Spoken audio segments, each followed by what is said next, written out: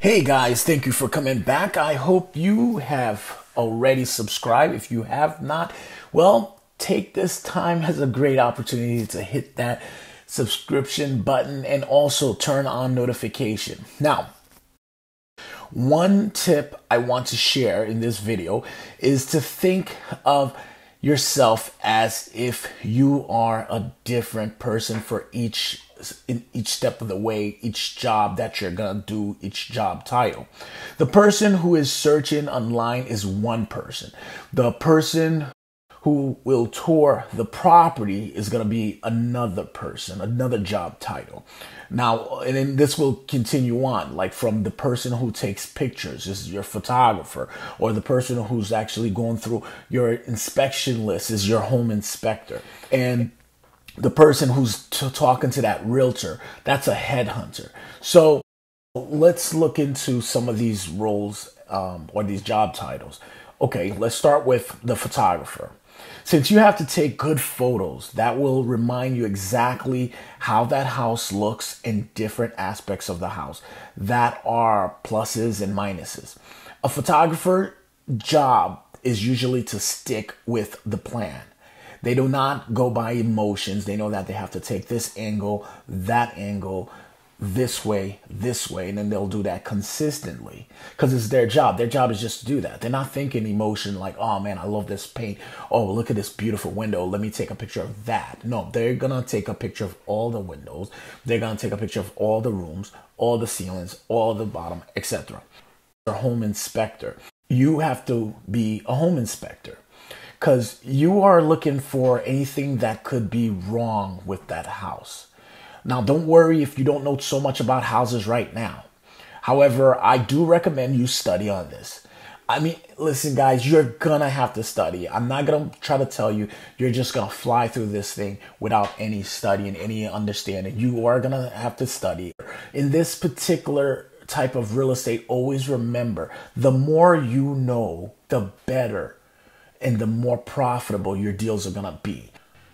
So it is basically all on you and your effort and what you put inside your brain and what you can put out. Okay. We will actually still have a home inspector come in later on. You can't afford to have a home inspector in every deal that you're just looking at because you don't know if this is going to be the one yet. You could be seeing 10 houses a day. You're not hiring a home inspector. So you will need to have some form of understanding to this. Don't worry. In my next video, I will actually give a little bit more breakdown what to take pictures of and what to look for in your home inspection that you're going to be doing. Now, now, one thing I want to point out about home inspections, just so you know, although they are very important and they can be very good, even when you hire a home inspector, but just know that they can't see behind walls. They can't pull stuff up what a home inspector is going to do he's going to look at everything that's that he can see.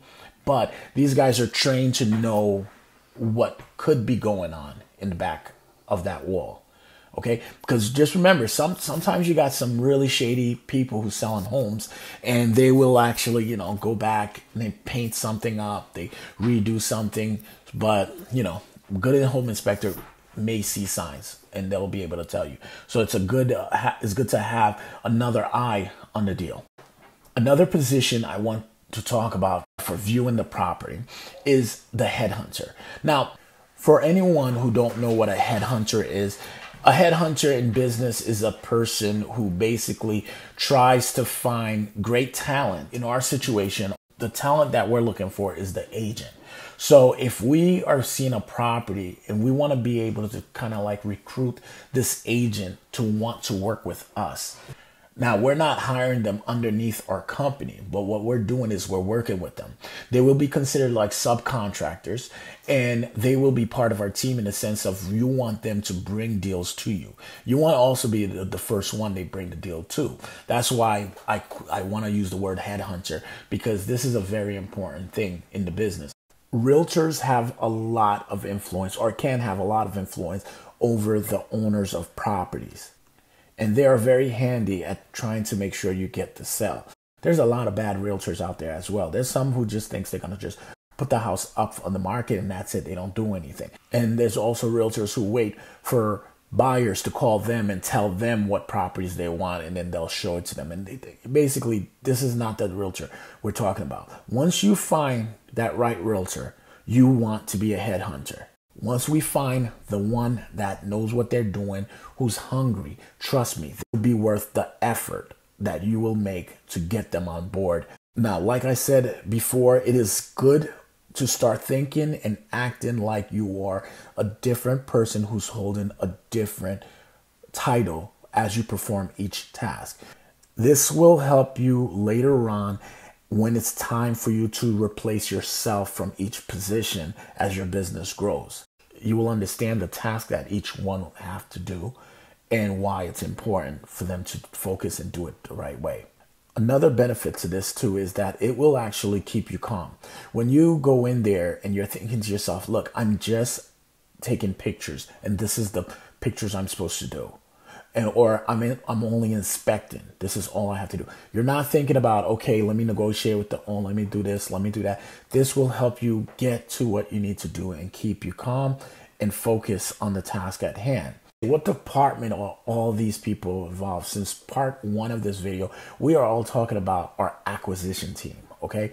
These are gonna be the group of people who's gonna acquire the properties for our business. Now, it sounds funny because every single one of these individuals at this time is you, okay? But I think you get the idea you have these different positions as you grow once you start to feel the need you will replace each one of these people with someone else and then sooner or later you're going to be able to slowly get yourself out of the whole business where you will continue to have an acquisition team a property management team a maintenance team and it just it's just to grow from there like it's a simple step. However, once you start scaling up your business and you start growing, you will start to understand why some of these small things will then become huge things. And if you don't get them right now or have uh, a great understanding of them, you will find yourself struggling and having some issues later on as you start to build.